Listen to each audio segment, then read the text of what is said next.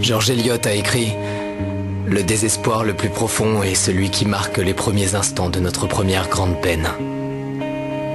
Lorsque l'on ne sait pas encore ce que c'est d'avoir souffert et de s'être remis, d'avoir connu le chagrin puis d'avoir recouvré l'espoir.